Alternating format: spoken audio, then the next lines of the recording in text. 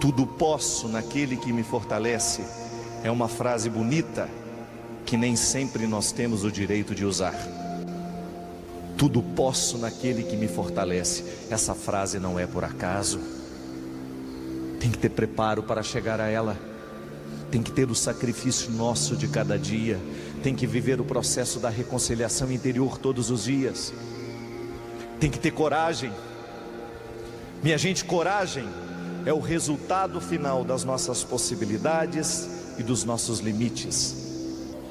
A coragem é o fruto final daquilo que você conciliou, de tudo que você tem de defeitos e qualidades. Você reúne tudo isso e mesmo assim você vai, você luta. E é isso que nós precisamos aprender. Voltar a lutar. Às vezes eu acho que nós estamos amortecidos. As coisas ruins estão acontecendo e nós não estamos reagindo. Não pode mais ser assim. O tempo do preparo é importantíssimo para o crescimento de uma pessoa. Não há um ser humano grande sem preparo. Nenhum ser humano pode ser capaz de dizer não àquilo que destrói, se ele não for grande, se ele não for preparado. Chega dessa ilusão de que nós poderemos chegar a algum lugar sem sacrifício, sem luta. É preparo, é dia a dia. Se existe alguma coisa nessa vida que lhe mete medo, que lhe causa medo, respeita, mas não permita que o medo seja determinante, porque senão você vai ficar eternamente com medo. Muitas vezes o nosso sofrimento é duplicado dentro de nós, porque nós alimentamos a experiência do medo. É como você pegar uma estrada para chegar num determinado lugar. Haverá curva, haverá buraco. E na hora que você quer chegar a algum lugar, você aceita o sacrifício. Você vive algum risco. Não tem como chegar sem o risco. Gente, quando nós queremos alguma coisa, ninguém nos segura. Quando nós verdadeiramente queremos, nós lutamos. O problema é que nem sempre nós queremos. Às vezes, a vida sepulta mais do que a própria morte.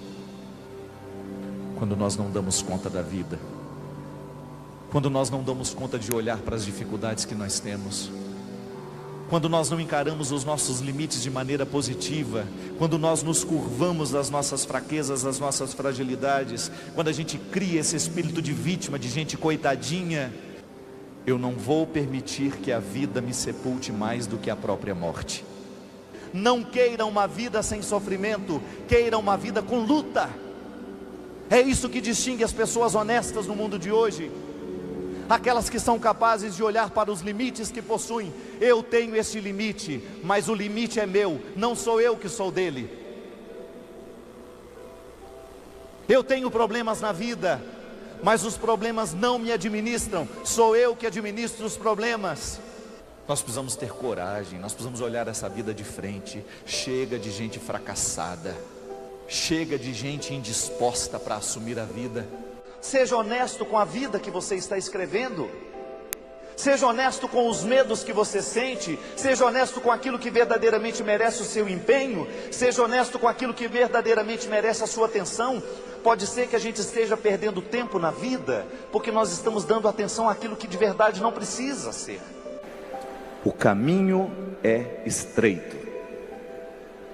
Se achou que era fácil, estava enganado. Sem luta, ninguém pode vencer absolutamente nada.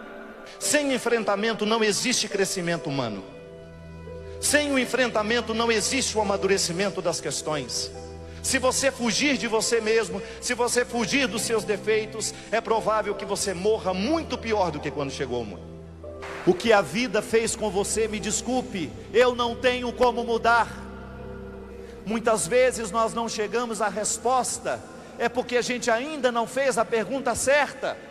Tome uma atitude a partir de hoje. Tenha coragem de colocar o seu sofrimento na mesa. Tenha coragem de olhar para ele. O que é que está gerando esse sofrimento na minha vida? Onde está a minha culpa? Onde é que está a minha responsabilidade diante de tudo isso que está sendo ruim? Onde é que eu estou errando para que esse sofrimento continue dentro de mim? Ou será que a minha atitude hoje está gerando sofrimentos para o futuro? O sofrimento pode despertar o que a gente tem de mais egoísta, quando a gente só olha para aquilo que a gente está passando. Mesmo porque, gente, uma bonita forma que nós temos de superar a tragédia das nossas vidas é a gente olhar para as pessoas que estão do lado e procurar ajudá-las. É quando a gente faz da nossa tragédia um ponto de partida e não um ponto de chegada. A minha tragédia, a sua tragédia, a minha dor, a sua dor não pode ser o nosso ponto de chegada. É o nosso ponto